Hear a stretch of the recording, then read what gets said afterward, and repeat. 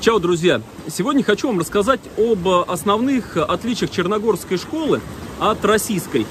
А, видео будет не очень длинное, так, э, буквально вот э, пару отличий, но они достаточно существенные. И еще хочу рассказать про документы, которые потребуют с вас для поступления в школу. А, весь список полный будет в подписи обязательно.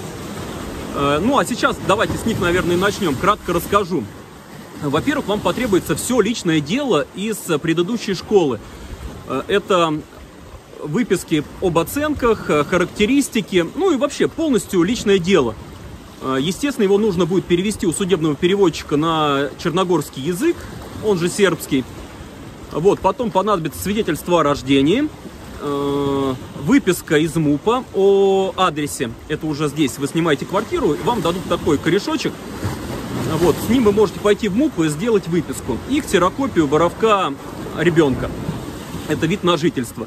Вот, ну, как я и сказал, полный список будет внизу. А теперь давайте немножко об отличиях. Ну, такие самые простейшие, допустим, на уроке, чтобы ребенку ответить, ему не требуется поднимать вот так ладонь, знаете, как э, по стойке смирно, а нужно просто поднять два пальца, и можно отвечать, не вставая с места. Вот, э, дальше еще интересное отличие. До пятого класса дети пишут карандашом. И где-то в середине четвертого, там, начале пятого переходят потихонечку на ручку. А сделано для того, что если ребенок сделал помарку, он может э, спокойно исправить свою ошибку. И, как правило, это не наказывается, это наоборот поощряется, потому что ребенок проделал дополнительную работу, сам нашел свою ошибку и исправил ее. То есть он проделал двойную работу. Э, но в наших школах наоборот, да, если ты сделал помарку, то есть две помарки это ошибка. Вот здесь такого нет. Вот, что еще из интересного? Формы. Нет формы одежды никакой специальной. То есть ребенок приходит в том, в чем хочет, э, с такой прической, с какой он хочет. Но понятно, что в пределах разумного. То есть нельзя там прийти без юбки или в сильно короткой юбке. То есть э, в пределах разумного ребенок ходит как хочет. Еще в местных школах нет дневников. Вообще, как таковых, нет дневников. Все оценки проставляются в журнал, э, еще в электронный дневник. И э, по окончании четверти выдается оценочный лист. Эти все оценочные листы собираются, то есть там все оценки сразу указаны. Он, они потом потребуются для поступления в высшую школу. Образование делится на четыре этапа. Э, дошкольное – это подготовка и до второго класса. Дальше младшая группа, это получается со второго по пятый класс. С пятого по девятый класс и с девятого начиная с 9 4 года это высшая школа. Туда как раз и берут по результатам вот этих вот э, выписок, которые дают каждую четверть. Но до седьмого класса они не учитываются. Начинаются учитываться только после седьмого класса. И уже по итогам вот этих выписок и экзаменов либо принимают ребенка в высшую школу на 4 года, либо не принимают. Еще очень интересно, что тут нет э, как такового ЕГЭ. Здесь просто сдаются наши старые добрые экзамены, как мы с вами сдавали в школах когда-то, да, до ЕГЭ. Вот, э, я считаю это правильно, то есть э, на экзаменах можно полноценно проверить знания ученика, а не по каким-то там мифическим баллам, да. Ну, еще хотел бы сказать, что э, мою дочку приняли сюда сразу в четвертый класс, хотя в России она училась в третьем классе. Причем в третьем классе она проучилась всего одну четверть. И когда мы сюда приехали, ее взяли сразу в четвертый класс прямо с середины года.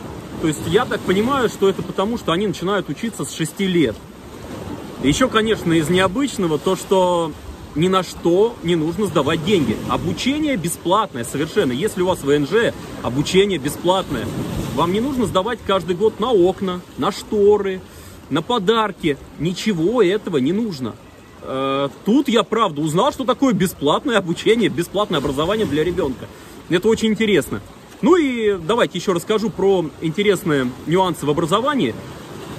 Здесь, знаете, вот даже если окружающий мир или математика идет с примесями физики, химии, э, чтобы дети как-то познавали окружающий мир, оно немножко сложнее для наших детей. То есть у нас, если точная наука, значит она точная.